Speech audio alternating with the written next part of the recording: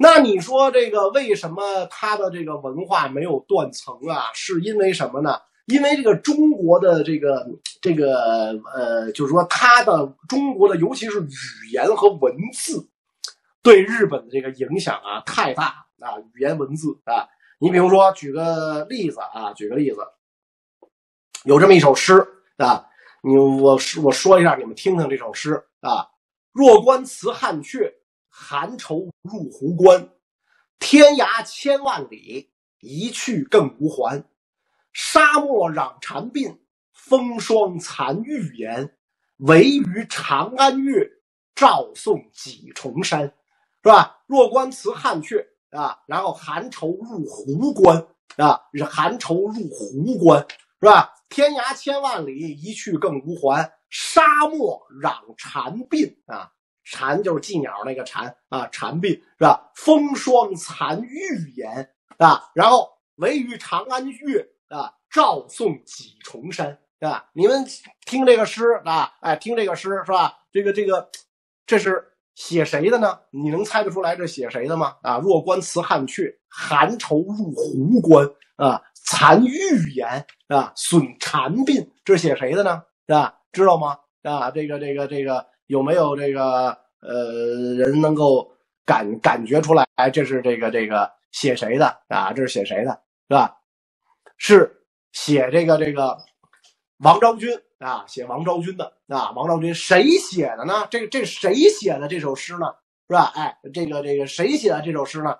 是吧？是日本第五十三代纯和天皇啊，这还不是一般的日本人，不是一般的日本贵族啊，是纯和天皇写的啊，写的这个诗啊，纯和天皇他一生作诗这个。很多呀，啊，很多啊，然后专门就写写了这个一个这个这个这个叫什么？就是呃，这个专门出了一本《金国诗集》，讲金国那个金国金国诗集是吧？好几百首他的诗是吧？好几百首他的诗啊！我看这朋友，这个这个这个咱们这个弹幕里有一个人说乃木希典啊，乃木希典大家都知道啊，日本的军神是吧？这个这个日本的军神是吧？他有一首诗是后来刻在碑上，今天在这个旅顺这个日俄监狱博物馆里还有他这个残碑，是吧？还有他的残碑，是吧？这个山川草木转荒凉，十里腥风新战场，征马不前人不语，荆州城外立斜阳，啊！所以这种这首诗连这个中国人都觉得哎呀太棒了，这诗写的就。完全就是这个唐人那个边塞诗的那个感觉啊！当然，他他他这是日俄战争的时候写的，跟俄国人打仗啊，途中也没少害中国人，对吧？但是咱就不因人废言，就事论事，咱就说他这个诗的水平啊，就说他这个诗的水平是吧？山川草木转荒凉，十里腥风新战场，征马不前人不语，是吧？这个荆州城外立斜阳啊，这是。简直就是这个诗写的，真是是那咱咱们都写不出来啊！这这就就唐朝边塞诗的那种水平嘛，那这完全就继承了这个这个唐朝的那个那个那个感觉啊，那个感觉是吧？另外就是大家比较熟悉啊，比较熟悉就是日本首相伊藤博文啊，伊藤博文是基本上他都不是武士出身啊，他就是一农民啊，就是一农民啊，他出身就是一农民啊，他连这个下级武士，他就冒充武士，可以讲啊，冒充武士是吧？原来你像什么什么这个高山静坐呀，什么那帮这帮人，人家在这个这个这个呃这个茶馆里，在居酒屋，人家喝着啊，然后人家聊怎么这个倒幕啊，怎么这个长州藩怎么起事，伊藤博文连进屋的资格都没有。啊，他是在门口给人看鞋，对吧？给人看刀，他是干这个，他连进在门口伺候着，他连进屋的这个这个资格都没有。高山进作是上等藩士出身嘛，上士出身是吧？这根本就看不起他，是吧？看不起他，是吧？但是你说伊藤博文，他是农民出身啊，冒充武士，是吧？咱就别说他的，他留下了多少首诗，他临临死之前，他留下的最后一首诗，他就是也是在辽东半岛啊。他写了这首诗，五天之后就被这安重根刺杀了。啊，也是在那个辽东半岛，他写了一首诗。写了一首诗是什么呢？是祭奠日俄战争当中俄军的战死者啊，看到这个战死的俄军的坟墓啊，然后呢，他写了这一首诗啊：秋种累累不记名，生灵几万作牺牲，堪怜筋骨重杀恨，手攀寒花泪自横。你看这诗写的是吧？就是我读诗啊，我就不爱读这个什么这个这个什么什么这个叫啥玩意儿？这个这个。什么什么纳兰容若啊，是吧？什么徐志摩，哎呀，千万别跟我提这玩意儿，是吧？文人感兴趣的东西我都不感兴趣，是吧？我就对这个军事啊什么这这些玩意儿感兴趣。我读诗也都是读这种，就是这个呃忠臣义士啊，他们留下的诗，岳飞的、文天祥的。你看人家就就你说伊藤博文这首诗是吧？秋冢累累不记名，生灵子几万作牺牲。堪怜筋骨重杀恨，手攀寒花泪自横。这这简直就跟中国古代的那些个是吧？哎，对对对对对，就是就是这个这种这种感觉就完全一样啊，完全一样啊！我就不爱不爱看那个什么，呃，是就是那些个什么什么什么，包括这个什么田园诗啊，什么那个啊，孟浩然加油，就就不爱不爱不爱不爱读这些东西，是吧？我就爱读这个这个忠臣义士啊，不喜欢婉约派，不喜欢婉约派，花间派就更扯啊！什么周邦彦啊，什么这这这这这这这太扯了！那刘勇啊，这这太扯了，那太扯了，那非常不喜欢这个呃婉婉婉约派啊！先生那那玩意儿啊，李清照嗯没没劲啊，就是约炮用的那东西都是是吧？现在你约你你写这人也看不懂啊，是吧？哎，你说伊藤博文这个诗很牛逼吧？伊藤博文这个诗非常牛逼，是吧？然后伊藤博文的秘书更不得了啊！哎，伊藤博文的秘书叫森淮南，姓森，因为日本也有单姓嘛，呀，也有这个单单字单姓啊，呃，姓森啊。这个日本人的名字也有就俩字儿的，是吧？你别以为日本人名字都一大串是吧？他也有叫这个，他也有这个俩字儿的名字，比如说日本首相叫元敬，姓元名敬，他也有这个单姓啊。所以伊藤博文的秘书叫森淮南。姓森，叫淮南，对吧？他的这个这个诗的水平就就甭说了啊。在这个明治三十一年啊，也就是公元一八九八年啊，大清光绪二十四年啊，当时的这个正好呢是甲午战争之后三年啊，然后呢德法英俄对中国虎视眈眈，中国周边的形势啊相当恶劣。湖广总督张之洞派了两位这个呃中级官吏出访日本啊，到这个日本啊求取这个强国之道啊。然后呢，这个日本的这些个文人墨客就跟这两个人呐，就是这个这个交往啊密切啊。然后呢，互相这个诗词唱和啊，诗诗词唱和啊。当时呢，在这个这个呃酒席之上，森淮南。就写了一首《沁园春》啊，咱们这个一说《沁园春》啊，什么一代天骄成吉思汗指示弯弓射大雕，咱就啊，你听听这个孙淮南的这个《沁园春》啊，写的怎么样啊？这个这个我背不下来，太长了啊，所以我给大家朗读一下啊，孙淮南的写的这首《沁园春》啊，他这个词牌是《沁园春》啊，然后那个名呢就是尉迟馆席上。赠倾国姚石泉、西光、徐明九军服啊，这两个人啊，这两个人赠这个呃两个人啊，给这两个人这个呃写的这个这首这个《沁园春》啊，说轰动乾坤，沧海横流，白日欲缩，叹直方土里土绝，叹直方土里土波突厥，几米洲外德法英俄。万里分烟，三年战垒，赢得尘沙折几多？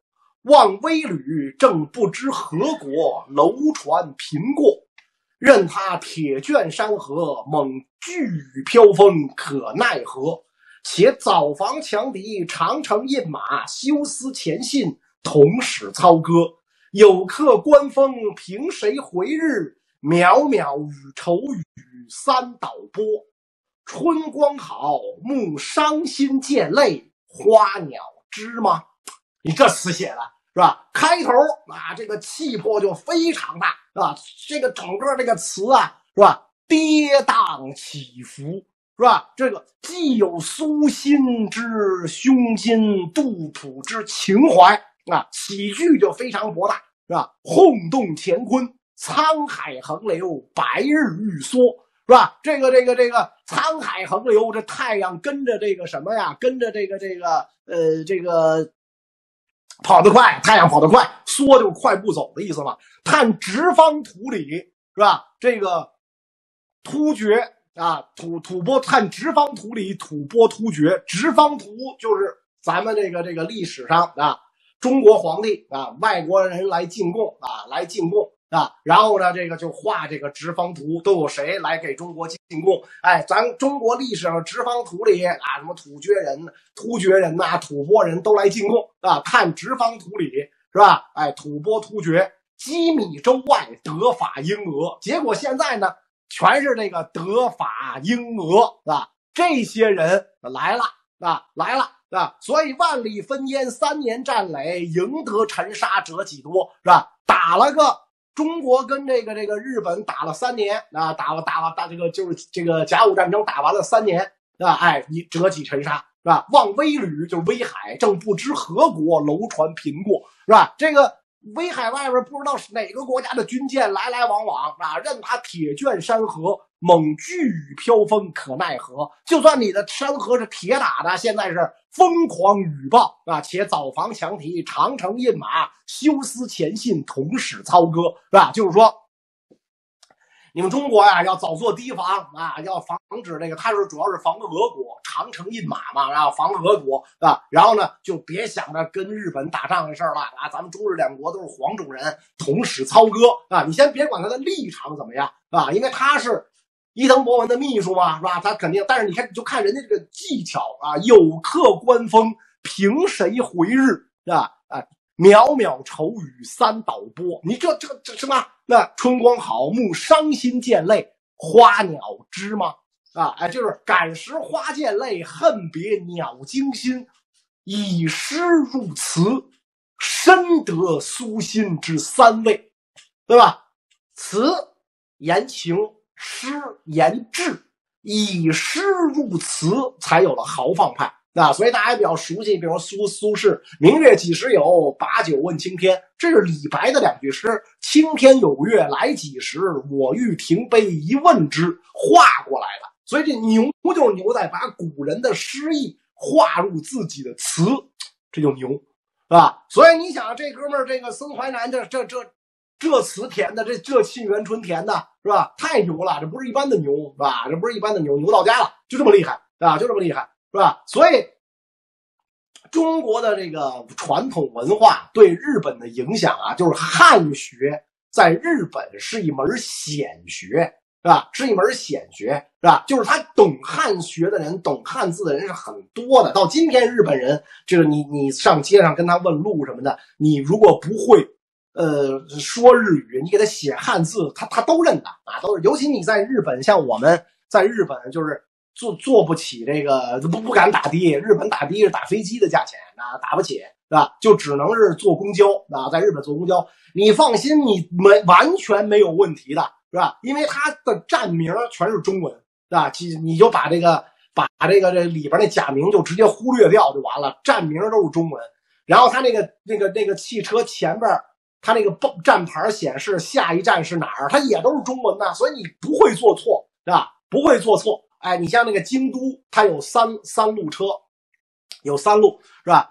一百路是吧？一百零一路、一百零二路旅游观光专专线，那在京都站前面就有发车。你要去的所有的景点儿那个车都能到，什么金阁寺啊、二条城啊、啊寓所全能到啊。那个车报站都有中文啊，它是这个日英。呃，中韩四种语言，啊，那中文报站逗极了。下一站金阁寺，请下车的朋友们带好行李物品，以免遗忘在车上。我说好家伙，这这这这家伙从中国进口的吧？啊，这个这个这个太逗了，那太逗了，是吧？他他都他报站都用都用中文报站，是吧？所以这个就是你就文化上你就不会有这种疏离感啊，有这疏离感啊。二百三日元。单次啊，所以你最好就买那一天的票，六百日元，随便坐，不限次数啊。你一天坐车超过三回就赚了，三回六百九嘛，是吧？你这个这个这你你买个六百，你一天能坐过去？不像我们这不止三回，这京都简直好玩的没法说，你根本都不用制定这个什么旅行计划，你就跳上一辆车，就让他爱往哪儿开往哪儿开，看窗户外边有一小庙，你觉得特别好，跳下去。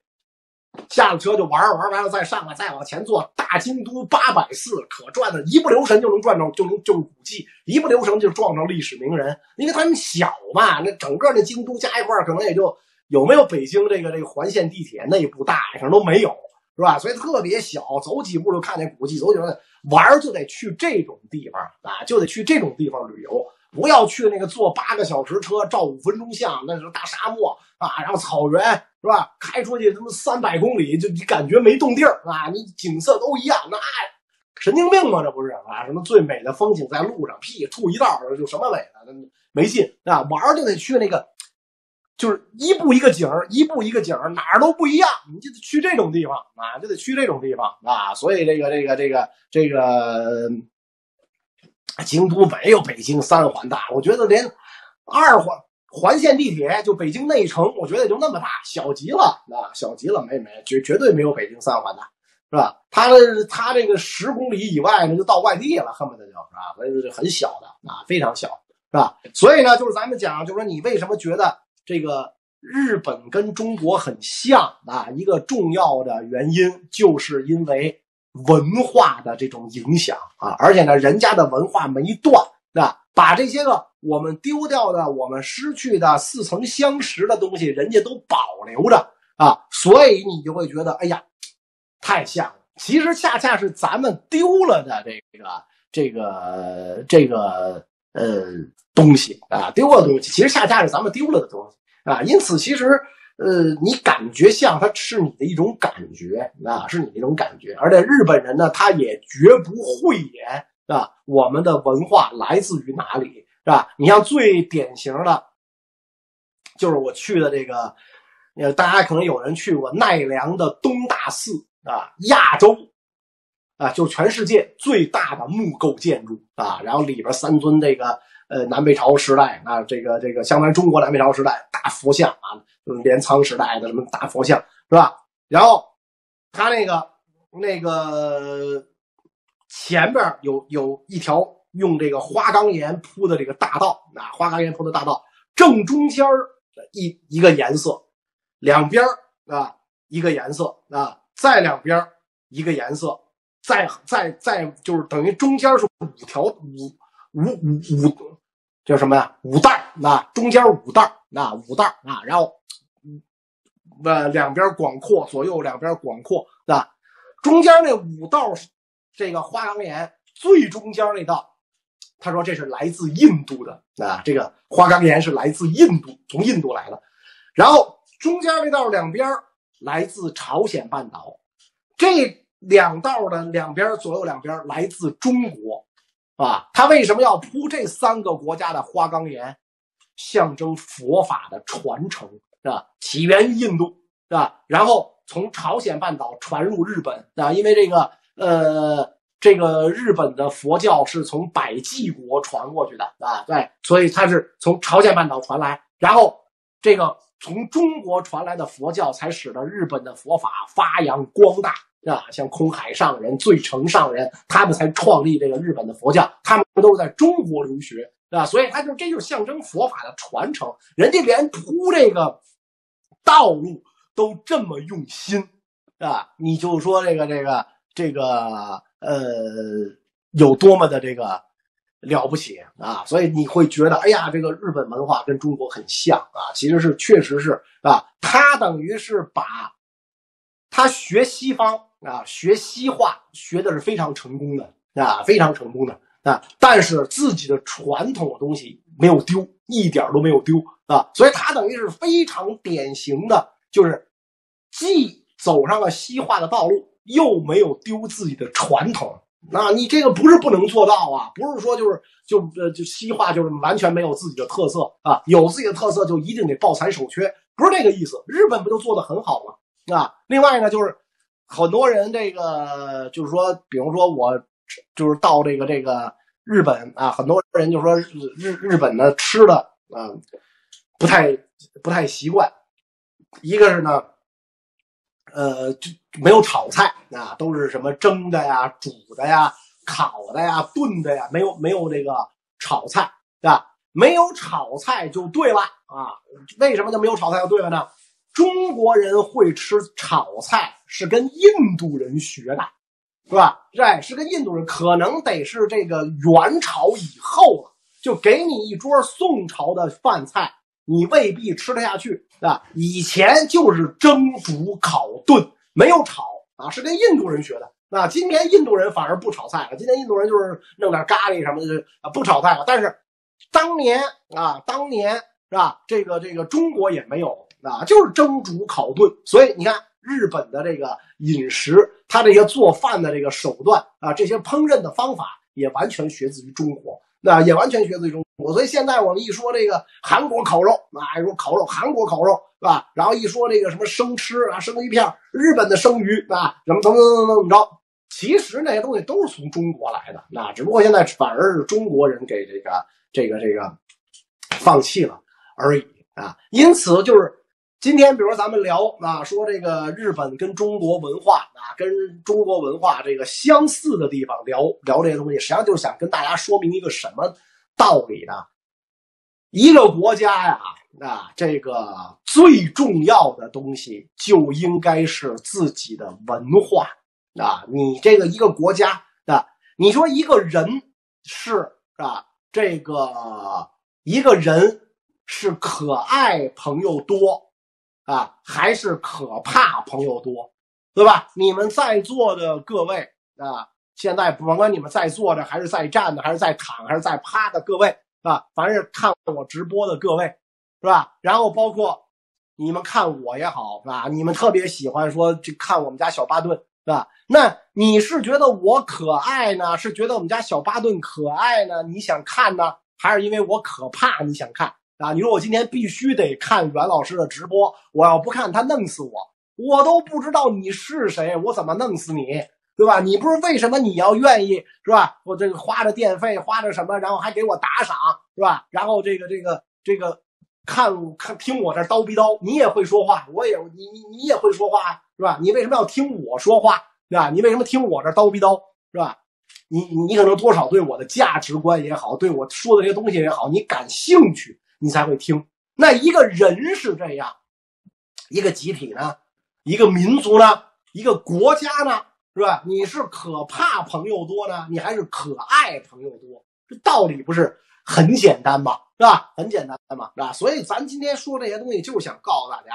文化最重要，有文化最重要，是吧？文化跟知识、跟科技什么这东西都不完全相等啊，当都不完全相等啊。所以呢，就是，哎，读万卷书啊，行万里路啊，这个呢就是吸取知识的最好的方法。但是读万卷书，说句实在话，谁都做不到，是吧？别开玩笑，谁都做不到。是吧？我们家这几千本书啊，两千多本书啊，我更好多书我都是当工具啊，都是当工具，就需要查什么东西都是翻出来查啊，翻出来查。我们不可能都看过啊，你你你看一本书最快最快怎么那么得一个礼拜？两千多多本书都看两千个礼拜，两千个礼拜你算算，一年才五十二个礼拜，我看到死我也看不完呢，不可能的。但是行万里路应该能做到啊，而且我还是。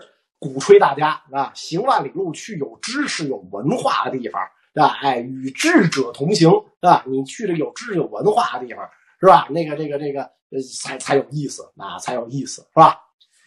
那这个我要讲的呢，就这么多，谢谢大家啊！今天呢，咱们就到这儿结束啊。然后呢，这个在以后呢，咱们就在课程里边见了啊！谢谢大家。喜欢这些个内容的朋友呢，欢迎您在 YouTube 上订阅袁腾飞个人频道，谢谢大家。